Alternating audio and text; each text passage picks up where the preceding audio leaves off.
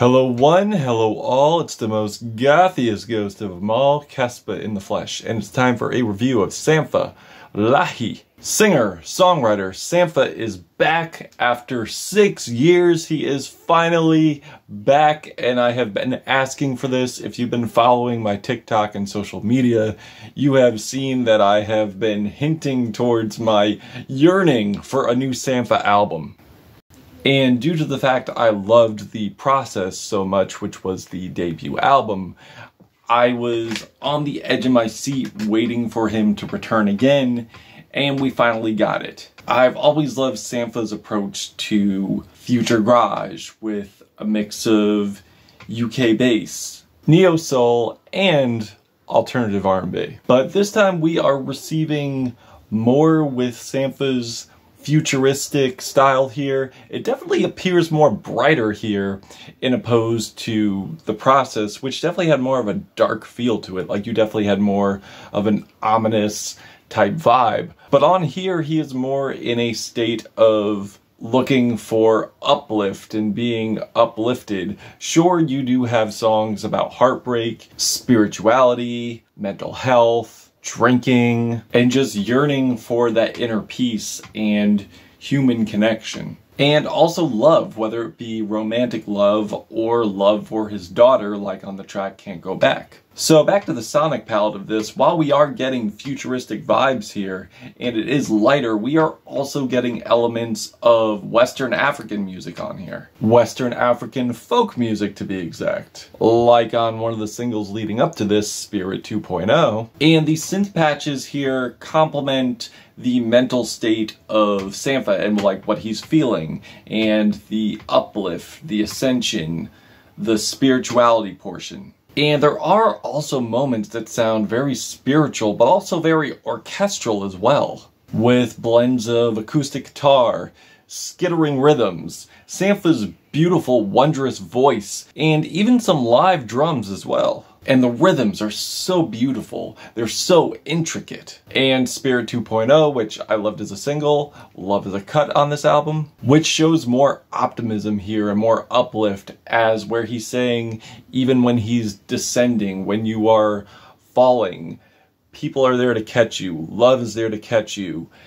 And it's just so optimistic in such a pessimistic mind state that we normally find Sampha in. So due to what Sampha will unveil here through his tumultuous times, it is a very nice conceptual refresher. And he definitely seems more determined here in terms of just being just broken on his last album. And not to say that that was a bad thing. I think the self-expression and the performances on there were great, very captivating. But on this album, to differentiate from the debut, Sampha seems to be more ambitious here in terms of mentality, but also in terms of the instrumentation as well.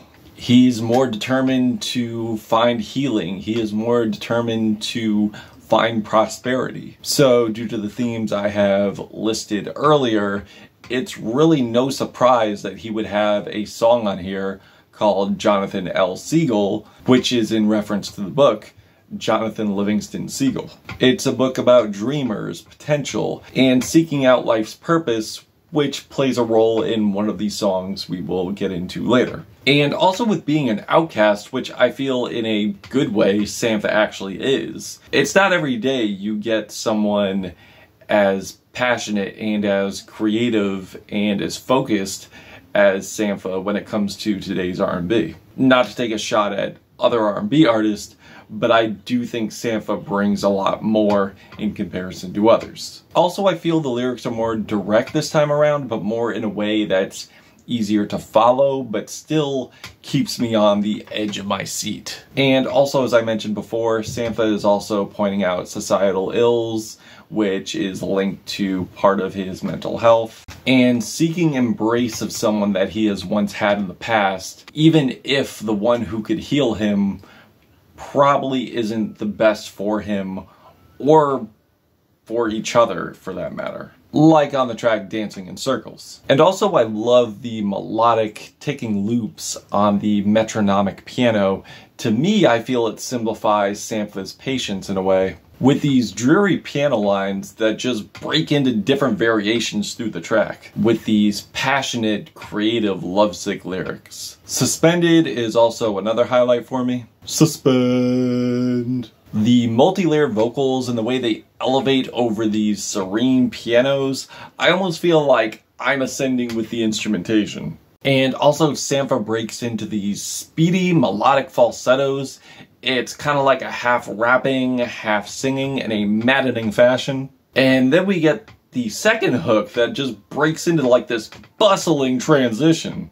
And also being lifted by this woman's love, but simultaneously drowning in sorrow where the lyrics hold so much pain, so much love, so much poeticism, where he is just yearning for things to be like the way they were before.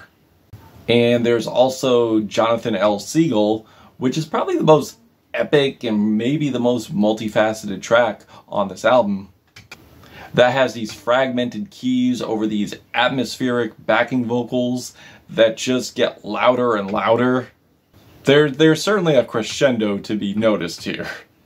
It's so surreal, it's so angelic, and I feel like it's moving towards me as it's singing to me.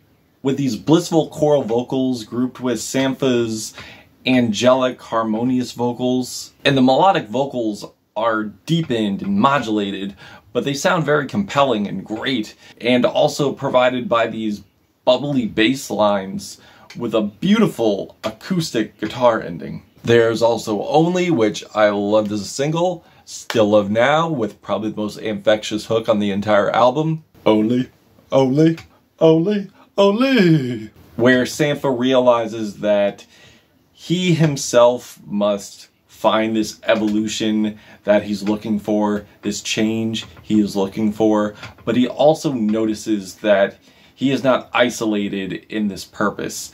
There are other people who are on the same journey as him. Can't Go Back, as I mentioned earlier, has these, it feels like internal layered refrains where he's just straight up rejecting the voices saying can't go back and he is just saying like even though I can't go back and I can't fix my errors let me just move slowly move more wisely and just make a better future for myself. With these pounding rapid drums, lush orchestral strings, and these sporadic mini vocals just flurrying through the track that go into these wild sporadic breakbeats, ending it off with this beautiful passionate sax at the end. After that we have Evidence, which is a beautiful tie-in thematically to the album, with these elegant, serene pianos that create a dreamlike sequence, soaring backing vocals with a lot of reverb hand percussion, almost reminds me of a dub reggae track in a way. But back to the thematic focus of the album, where numerous times John Livingston Seagull is mentioned on this album, and due to that track being finding purpose for the meaning of life, and prospering where Sampha has realized that this person is the evidence for life, the evidence for living, the evidence for the purpose, which is very touching and very beautiful. I don't know exactly to whom he is saying this to. It could be his daughter, it could be a love interest.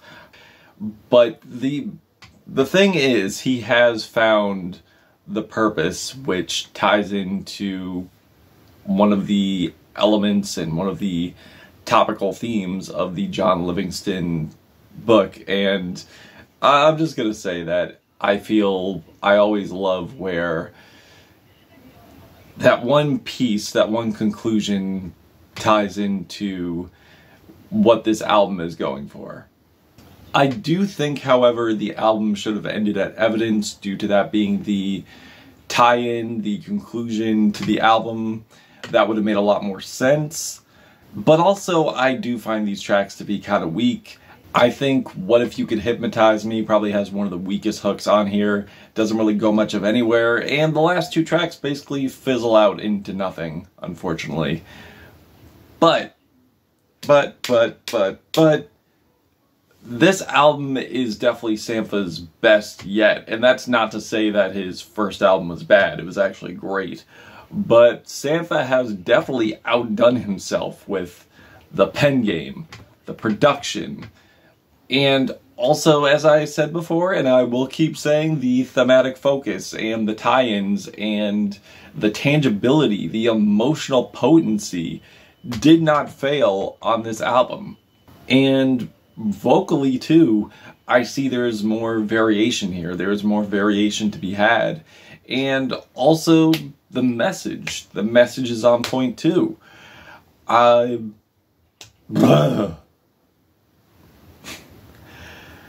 I'm feeling a 4.5 out of 5 on this album. Very endearing, very beautiful, very lovely album. If you've not heard it, please do. But if you have given this album a listen, what did you think of it? Did you love it? Did you hate it? And why? And that's it. Caspa, Gothic Ghost, Sampha, Lahai. Till we meet again.